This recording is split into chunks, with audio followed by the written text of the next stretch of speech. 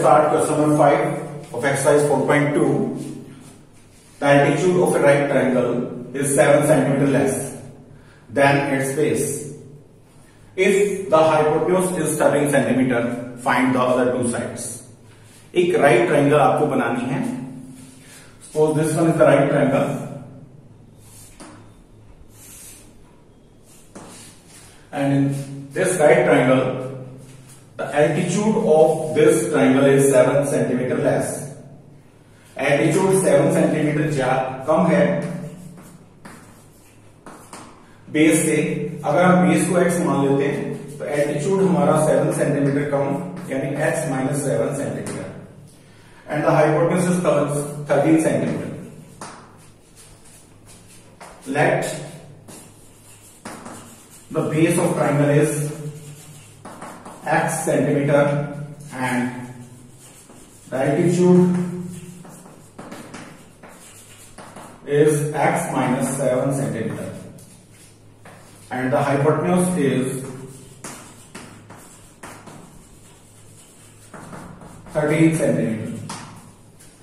So Friends, it is a right triangle. We use the Pythagoras theorem. Pythagoras theorem का use करेंगे हम यहाँ पे in right triangle ABC AB square plus BC square is equal to AC square by using Pythagoras theorem.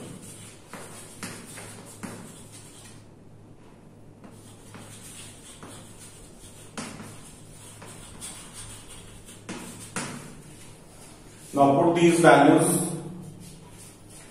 here AB is x minus 7. So whole square of x minus 7 plus whole square of x is equal to whole square of 13. Solve this now x square plus 49 minus 14x use here whole square of a minus b plus x square is equal to 169 x square plus x square that is 2x square minus 14x and 169 को उधर लेके आएँगे आप minus 169 plus 49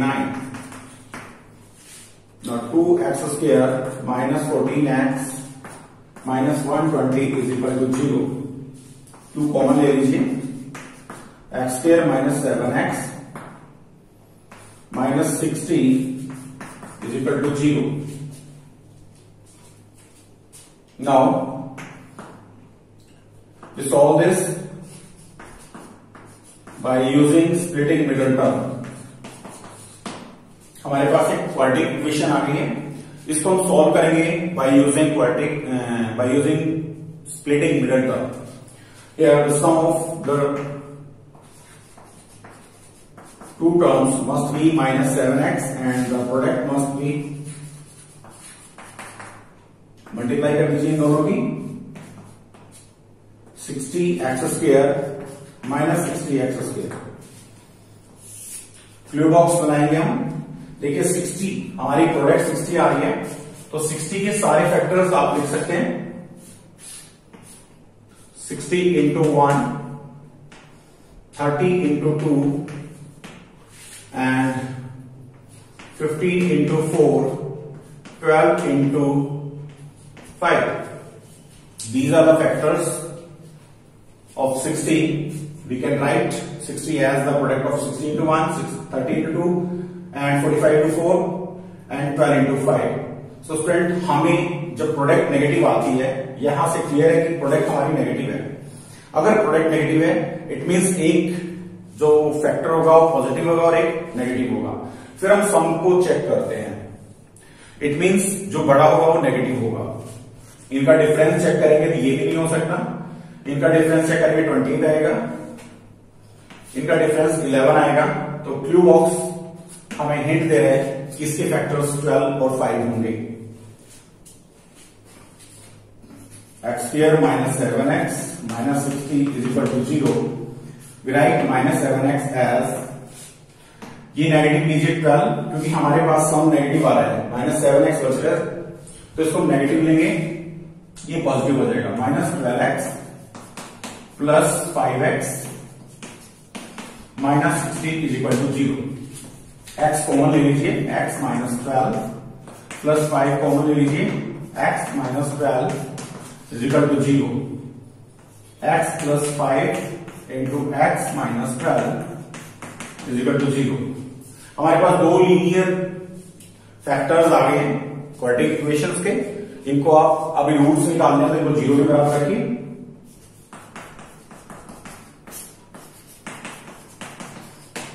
X is equal to minus five students x की दो values हमारे पास आ गई हैं।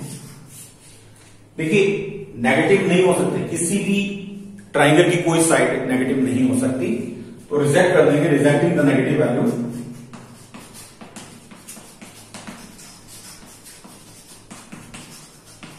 इसलिए हमने रिजेक्ट कर दिया नेगेटिव वैल्यू को। Therefore x is equal to twelve हमारा आंसर जो होगा, वो ये होगा। एंड एक्स हमने लिया था base base of triangle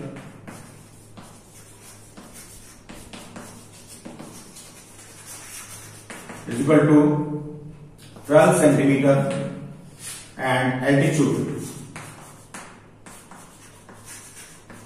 of triangle is equal to x minus 7 so it is 12 minus uh, sorry yes 12 minus 7 So it is 5 centimeter so friends these are the two sides of this right triangle we solve this by using completing square method and we solve now the next part of this exercise. Now we start question number six, most important question of this exercise. एक cottage industry एक cottage industry है घरों में छोटे छोटे काम करते हैं लोग कॉटेज इंडस्ट्री बोलते हैं उनको जैसे एनवेलॉप बनाते हैं कोई खिलौने बनाते हैं या कोई पोल्ट्री आर्टिकल्स बनाते हैं कोई पेंटिंग्स बनाते हैं These are known as cottage industries. So, a cottage industry produces a certain number of poultry articles in a day. कुछ आइटम्स बनाते हैं it was observe on a particular day किसी particular day पे observe किया गया that the cost of production of each article cost of production of each article was three more than twice of the number of articles produced on that day. यानी हमारे पास यहाँ दो चीज़ें कि एक तो कितने आर्टिकल्स उस दिन बने और कॉस्ट ऑफ़ आर्टिकल्स क्या है। तो ये सब डिपेंड करता है number of articles produced on that day कि कितने आर्टिकल्स बने हैं, उसी पे कॉस्ट डिपेंड कर रही है। तो हम मान लेते हैं let the number of articles produced on that particular day is x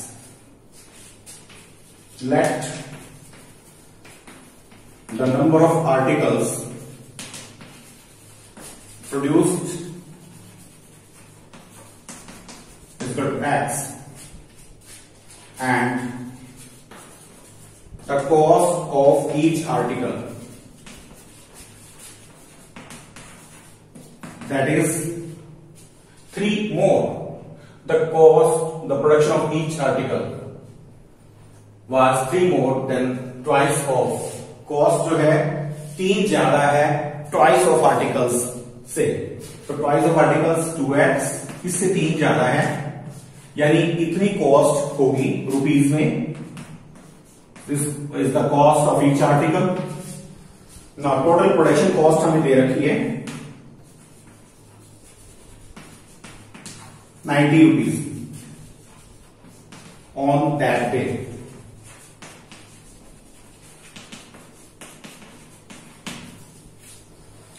according to question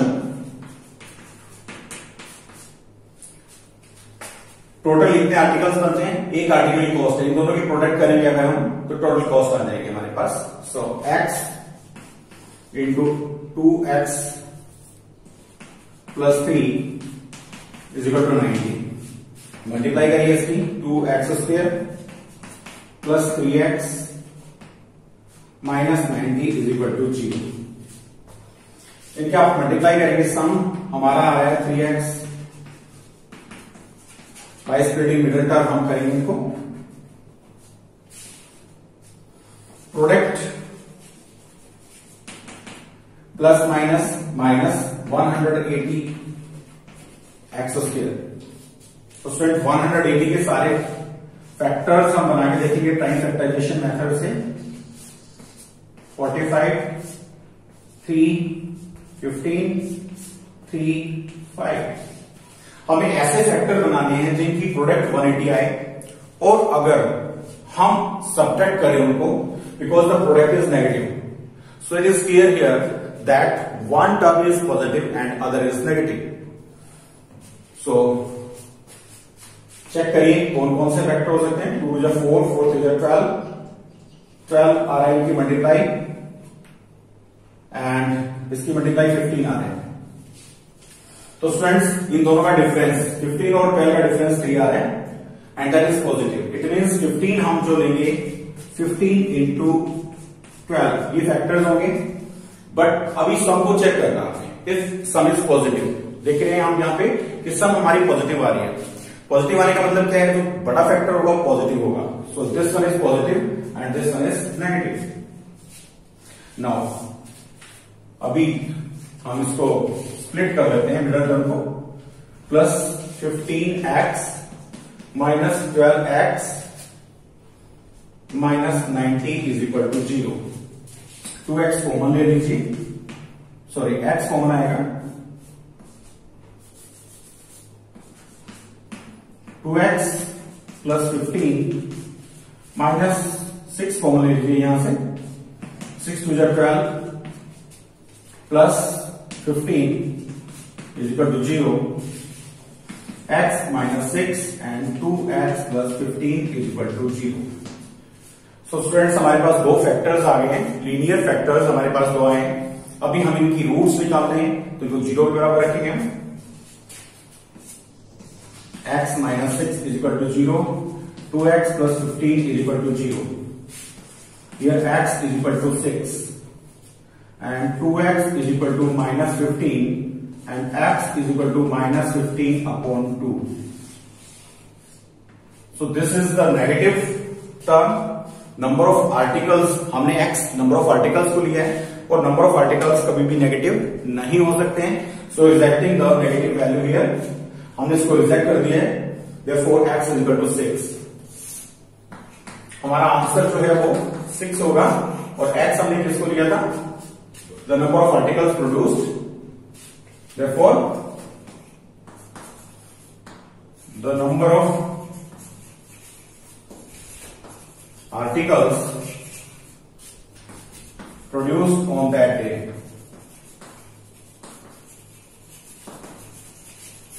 is equal to six छह आर्टिकल्स पर्टिकुलरली उस दिन बनाए गए और कॉस्ट ऑफ़ इच आर्टिकल भी निकालनी हमें।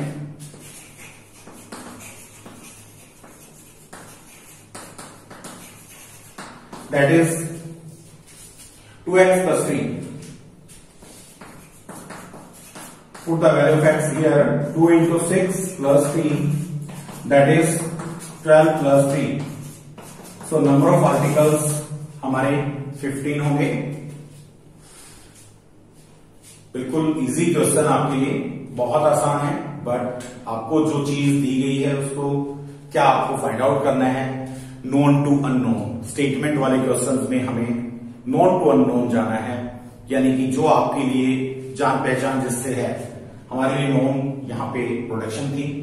नाइन्टी रुपीज़ टोटल कॉस्ट दे रखी थी। हमारे लिए अननोन नंबर ऑफ़ आर्टिकल्स हमारे लिए अननोन थे बट रिलेशन दे रखा था कॉस्ट का। हमने कॉस्ट का रिलेशन यहाँ पे लिया। इन दोनों की प्रोटेक्ट करके हमने 90 के बराबर रख दिया। हमारी क्वालिटी की इक्वेशन बन गई और उसको सॉल्व करने के बाद जो वैल्यूज़ आई हमारी, उसमें से एक पॉजिटिव और एक नेगेटिव फिर हम यहाँ चेक करते हैं कि क्या नंबर ऑफ़ आर्टिकल्स नेगेटिव हो सकते हैं। So it is not possible therefore we take here x is to six x की वैल्यू सिक्स लिया हमने। And the number of articles हमारे सिक्स आ गए। टोटल कॉस्ट जो है एक आर्टिकल की कितनी होगी वो हमने फाइंड आउट कर दिया so this is the solution for question number six now Your exercise 4.2 is complete today. Mm, and we start the next exercise. तब तक के लिए आप सभी का बहुत बहुत धन्यवाद। आप सभी ने पूरे ध्यान से वीडियो को देखा। और मिलते हैं नेक्स्ट वीडियो में. Thanks to all of you